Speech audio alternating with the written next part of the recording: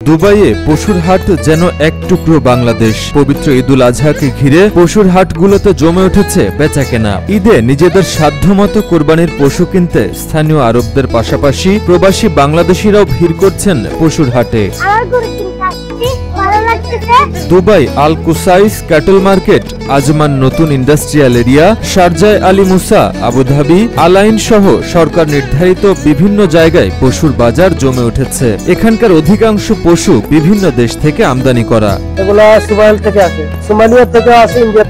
আমার কাছে আছে আপনার মনে করেন যে সাড়ে নশো আছে, এক হাজার আছে, সাড়ে আটশো আছে।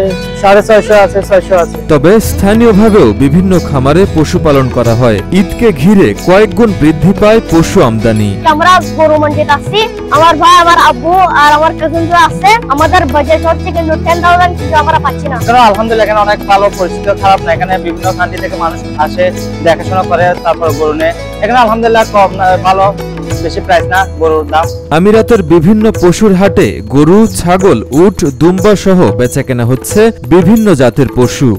দর কষাকষিতে পছন্দসই পশু কিনতে পেরে খুশি ক্রেতারাও। দুবাইতে গরুর দাম কিছুটা কম হলেও দুম্বার দাম তুলনামূলক বেশি। আলহামদুলিল্লাহ গরুর রেট আছে ভালোই আছে প্রায়। Compare to Bangladesh. সব দিকে দেখলে এটাই সেমই তবে আলহামদুলিল্লাহ আমরা এখানে প্রবাস জীবনে যখন আসি আজকে দশ বারো বছর ধরে হিসাবে আমরা এখানে বন এখানে বড় হয়েছি।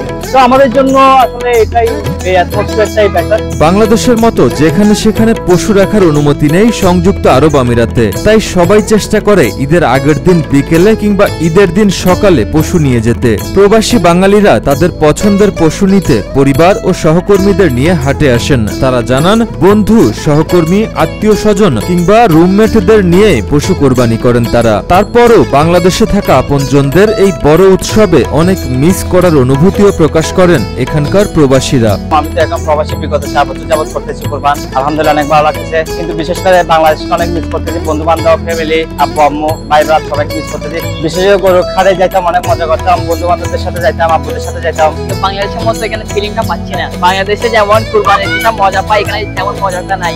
সংযুক্ত আরব আমিরাতে এখন তাপমাত্রা ৪৫ ডিগ্রির উপরে ওঠানামা করছে। এই গরমকে উপেক্ষা করে চলছে কোরবানির পশু কেনা। চলবে ঈদের দিন সকাল পর্যন্ত। কেউ একা আবার অনেকে কয়েকজন মিলে অংশীদারের ভিত্তিতে পশু কোরবানি করবেন। এখন চলছে বাজার? আমাদের বাংলাদেশের মতো।